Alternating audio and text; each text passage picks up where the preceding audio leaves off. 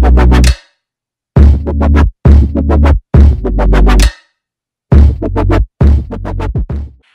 everyone and welcome to my channel. So if you are new to my channel, I just want to say welcome. My name is Danelle and I do videos every Wednesday and Saturday. Saturdays are usually dedicated to missing persons, unsolved mysteries, true crime, and Wednesdays are kind of up in the air right now, but if you would like to, go ahead and join the family by clicking subscribe down below. We are growing and I would love to have you. For those that are new and old here, hit the notification bell down below so you can immediately get notified when I have a new video up. I also have an announcement that you all have been waiting for. A lot of you guys actually have asked me multiple, multiple times on here, on Twitter, and on Instagram, and even in emails to do a makeup tutorial. So it was a perfect time to do one over on my other channel, my vlog channel. I will have the video linked down below. I did a get ready with me, but not only is it a get ready with me, it's a get ready with me slash 10 things I love about myself tag. Um, my sister created this tag. She is in the beauty community here on YouTube and she figured it was time people started spreading self-love and I think that is a great idea. It's an awesome idea. It stands for everything I stand for. So if you guys want to see how I got this particular makeup look and kind of hear me talk about more personal things, then head on over to that video and check it out. This was a very, very requested video. I got a couple of emails, I had a couple of comments, um, a couple DMs on Instagram. People seem to really want me to do this video and I was hesitant at first because it's not technically a missing persons case anymore. It was a missing persons case at first, um, but they're definitely found. Everybody is safe. Um, but it is something that is extremely bizarre and I do have a very strong opinion on it. So I figured this one's definitely worth doing. It's super interesting. It's an extremely, extremely interesting story and it's something that will make you wonder if it could happen to you and I don't know. It's just a crazy one. So if you guys want to hear about the Tromp family, no, not the Trump family, but the Tromp family, then just keep on watching. So the gist of the story is that it was a family of five and they went on a extremely last minute tech-free road trip of over 995 miles over in Australia and they were eventually found, but the details surrounding this case will have you wondering what in the actual hell happened. So the parents, Mark and Jacoba, owned a farm. That can be a very, very stressful, stressful job to do. They had three children, Ariana, who was 29, Mitchell, who was 25, and Ella, who was 22. And as far as my research led me, they all lived inside the home with their parents. On Monday, the 29th of August in 2016, so almost exactly a year ago, which is kind of eerie to me, um, they all piled into a car and took off with no warning, no form of communication, completely tech-free, just a really random road trip, except it was a lot more than that. I'm not exactly sure how the police found out, but the police were notified that something was off. So the police went to the home to try to figure out what exactly was going on with this family. I guess it was very unusual of them to just up and leave like this and not let anyone know, not take phones, nothing. So the police got to their home and found it in a complete state of chaos. Their all their keys were in the ignitions of their cars, car doors open, the front door was unlocked. The whole entire house was just in chaos as if they had ran out in an extreme hurry. Um, it appeared as if they'd been sifting through their financial information. They had everything though like neatly stacked and organized almost as if they were looking for something in particular. They found everything of importance to the family still inside the home. Passports, IDs, mobile phones, credit cards, every bit of money that wasn't cash. They left everything behind. The police soon came to realize that it was a cash-only off-the-grid trip and they knew that was going to make it extremely difficult to find out where this family had gone and why. The only phone that had been taken with the family belonged to Mitchell, the son, and Interestingly enough, about 19 miles up the road, Mark told him to throw it out the window of the moving vehicle because They claimed they were being followed and tracked through this cell phone and someone was coming to take all of their money. So that's pretty much what ended up prompting this trip. The parents seemed very, very upset. The whole family seemed very upset and they all seemed extremely convinced that someone was out to kill them. Someone was out to take their money. Um, they were being followed. They were constantly being watched. So that's what kind of prompted this whole entire tech-free trip. So when Mitchell brought his phone with him, that kind of gave police an idea that he wasn't necessarily buying into all of this. So after they left, they drove the entire day and the entire night. They did not stop for a single thing. They had traveled about 800 kilometers to a place in New South Wales called Bathurst.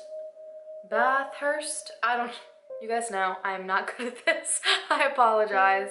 And that led them into Tuesday at 7 a.m. after their full day and full night trip. Mitchell finally decided he was done with it and he abandoned ship pretty quickly. So later that morning, they continued on without questioning why their son left, I guess. A very popular tourist spot called the Jenolan Caves. I'm once again, think I'm pronouncing that right, but there's no telling. And once they reached these caves, Riana and Ella decided that they didn't want to be with their parents either, and they also decided to just abandon ship.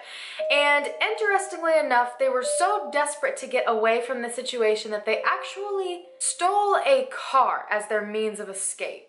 They drove south to a town called Goulburn where they stopped at a gas station and at this gas station, for some reason, then they even decided to take it steps further and separate themselves, which to me makes this so incredibly confusing. So one by one, each family member is just kind of escaping. And to me, if I were in a situation where, you know, we were all trying to run away from something, um, if I decided to leave my parents behind, I would want to stay with my sibling. I would not want to split apart for any sort of reason, but Ella really wanted to get back home to her horses. She needed to feed them. She was concerned about them. So she decided she was going to go ahead and head home. And there is really no telling what Riana planned on doing. So the story really quickly made it to the media because to friends and family, this made absolutely no sense. This whole entire family just kind of up and disappeared. Um, at this point, no one knew that Mitchell, Riana, or Ella had left the parents. There was no way of communication. Mitchell hadn't even arrived back home yet.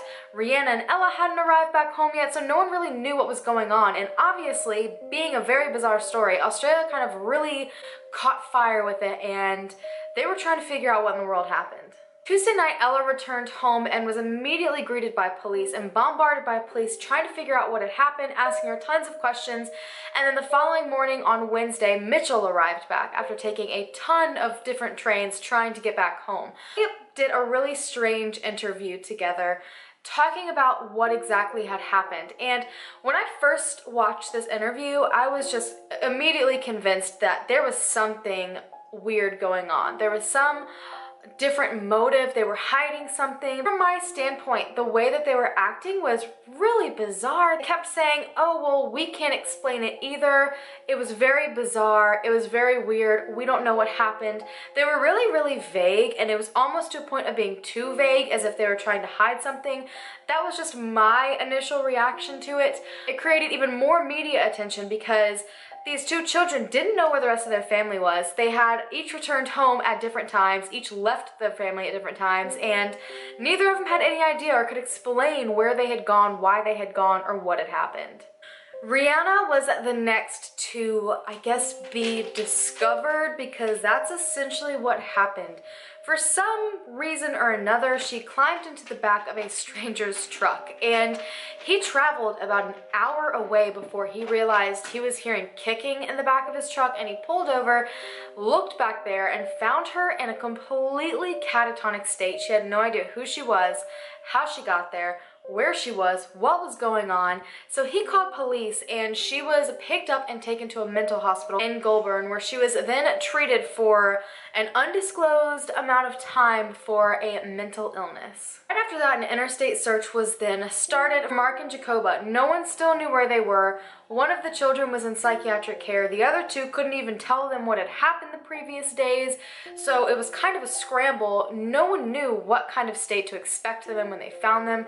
No one knew where they were headed, what they were doing. So it was a big scramble to just find them alive. They had not gone any further north than the caves and actually actually had already turned around and started heading back towards Melbourne. They traveled about 600 kilometers south and then they were in the Victorian town of Wangaratta. Wangaratta? I'm sorry. And somehow they also became separated. When they became separated, Jacoba started to head north again, even though they had backtracked another 600 kilometers back towards their home. No one to this day even knows how she traveled north again. She didn't have a car because Mark had taken it, her husband, and no one's even sure exactly how they got separated. It is like a bunch of confusion and there's no answers to anything. Then the next day on Thursday, she was found about 350 kilometers north again in a town of Yass. And she had apparently tried to get herself a motel. She seemed extremely agitated, um, ended up running out and was found walking on the side of the road in an extremely agitated and um, very delirious state. So she was taken to a hospital.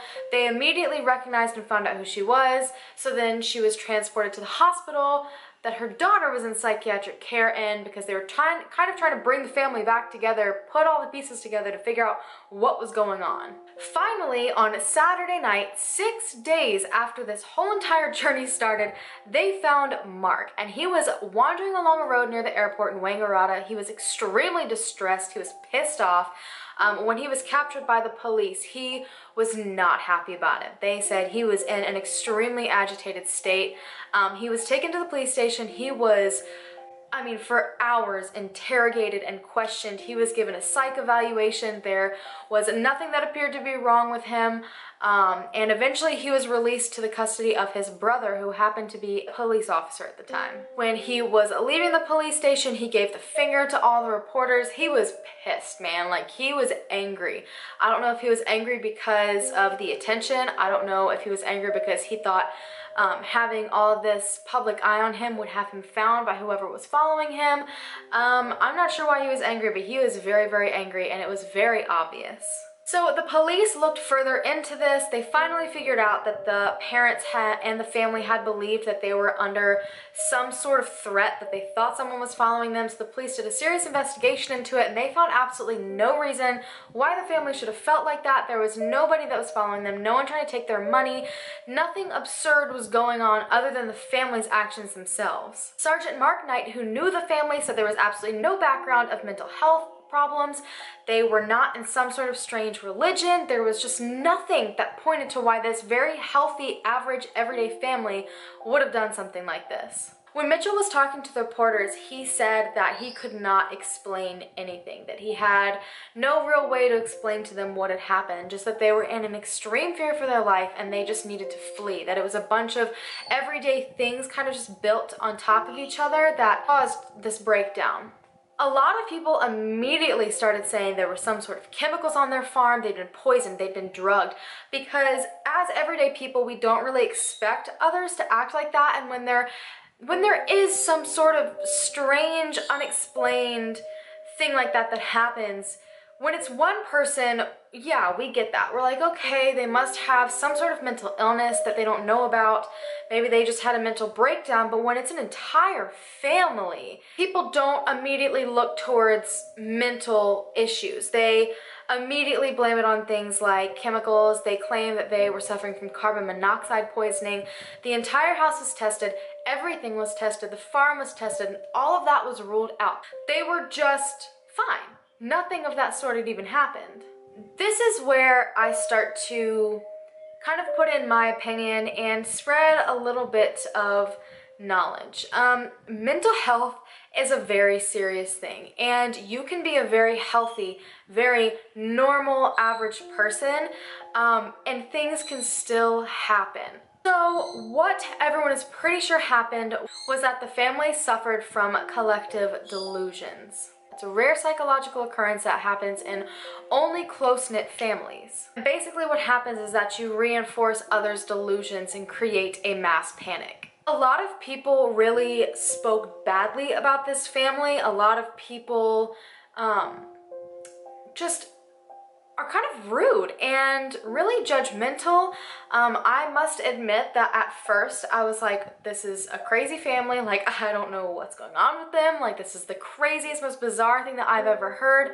Um, it's definitely something that makes us kind of put our nose up and um, a lot of people pass judgment on this family. I am sure they're going to face that for the rest of their lives. But there is actually an explanation for all this, and it is a lot more common uh, than you think it is. And it's actually probably happened to you on a much calmer, much calmer, much calmer level. There's a French term and I am not going to even attempt to butcher it so I'll put it here on the screen but essentially what it means is madness of two and it happens in very healthy, very average couples, um, people who have had no history of mental health disorders or, you know, any imbalances in their body, any illnesses, otherwise, just very healthy average people. And what happens is a person in the couple, for some reason, has some sort of paranoia going on and um, they might be paranoid that someone's out to get them. I read stories where someone was paranoid that aliens were coming to get them, that a certain sound they were hearing was maybe the sound of this mythical creature that was coming to get them. Um, you know, they thought the government was after them. Just one person has an extreme paranoia and the other person in the couple um, it eventually almost spreads to them. And I know it sounds crazy, but this is literally a thing. Like this happens to people, completely normal people. Just bounce each other's paranoia back and forth until they both get in this extremely aggravated state and there is no sense of reality and there is no calming down and it is just, it's insane and it happens frequently. And I think it's interesting because when I was doing research into this particular occurrence, um, I found a ton of stories of people who knew people who had this happen to them, um, family members that it happened to, and almost every single time there was this extreme paranoia between a couple and then eventually the whole family got in on it and then they would flee. And then most of them would, would return back in a short period of time, almost as if it kind of wears off. So a lot of people saw that and they understood it and they could see it immediately um, in the parents. And the police could not find out who it first started off with. They're pretty sure it started off with the father, but eventually the mother got really, really deep into it. A lot of people were wondering why the children were in the state that they were in. I mean, think about it. Riana ended up in the hospital and I'm pretty sure her and the mother were there for over six months. As of March, I know for a fact that they were still receiving treatment. Um, however, I could not find anything more on it. I couldn't find if they've been released since then. I searched forever trying to figure it out. Um, but that is where another thing starts to come in and this is something that probably all of us have experienced and we don't even recognize that this could happen because of it. It's called small group panics um, and the best way I can describe it is I guess an experience that I've been through. So you know when you are going to like a haunted house or you know you're in a situation with a bunch of your friends where you're all scared. You're excited but you're scared and everything is fine and you're all fine until that one person screams. The one person loses their mind. And without even thinking about it and without anything actually happening to you or your own thoughts going on you all start screaming as well. And all of a sudden, before you know it, everybody is screaming. People are getting pushed on the ground.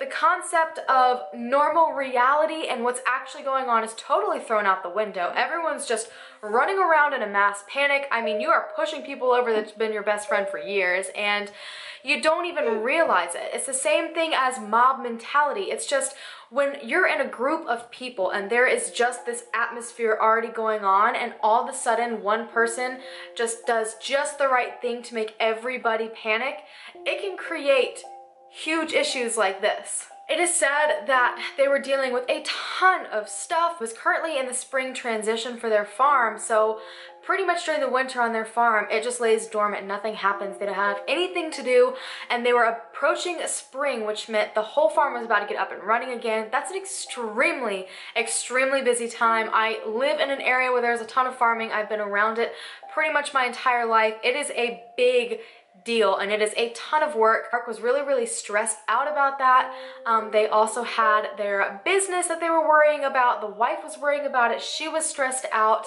They had home renovations going on, so they had a bunch of other things to stress about, and it was just creating this really tense environment to begin with. And when there's already a bunch of very strange things happening and unusual feelings going along, when one person freaks out, it's going to trigger so many people like a domino effect. So essentially the entire family got thrown into it. And it literally scared and convinced them into thinking that their lives were in danger.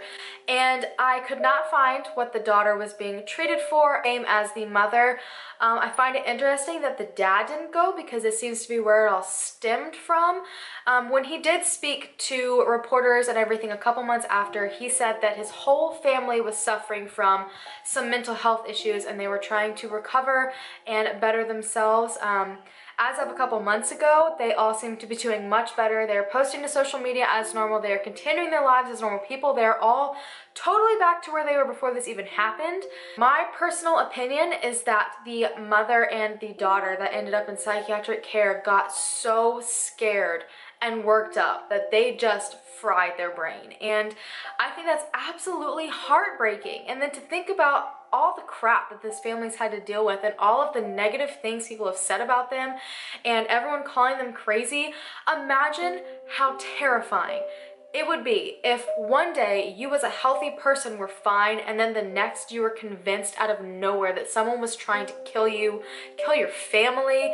I mean, that's terrifying. They've been through a lot. A lot of people tend to ignore mental health disorders. A lot of people try to pretend like mental health disorders and, you know, things like that don't exist. And in reality, they do. And whether you think you're fine or not, you're just as vulnerable as everyone else. Even though this is rare, there are still people frequently that this does happen to, and that's gotta be terrifying. That's why I really, really wanted to cover this case. They were missing Fortunately enough, they were all found and that does not happen very often. And the fact that when they were missing, they were in this altered state, I am so thankful. And I am sure all of their friends and family and themselves are thankful that they returned home in one piece because you just don't know. To think of all the terrible things that people are saying about this family when they have gone through so much that they did not ever expect to have to go through in their life, I don't know, I just feel bad. And I feel like everyone looks at them like they're crazy. And and they're not. It's,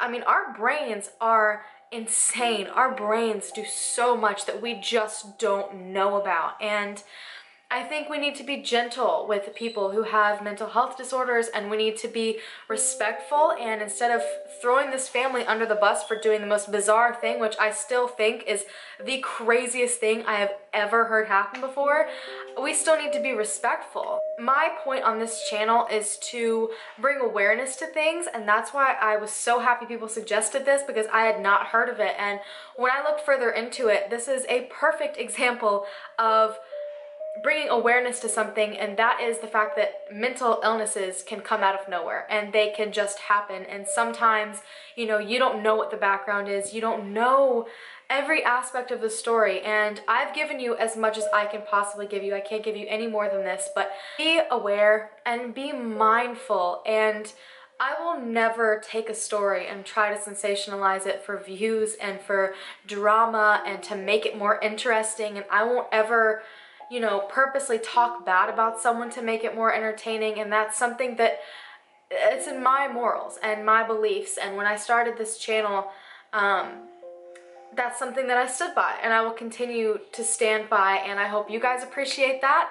Um, I hope you understand why I did this video the way that I did. I hope you guys enjoyed this video. I know it was kind of a different one and just an FYI, next Wednesday will be a missing persons video. Um, I know I don't normally do those on Wednesdays, but I've got a very, very interesting one that's got a huge break in the case and it is something that I've been keeping track of for almost my entire adult life, so I really want to speak on it.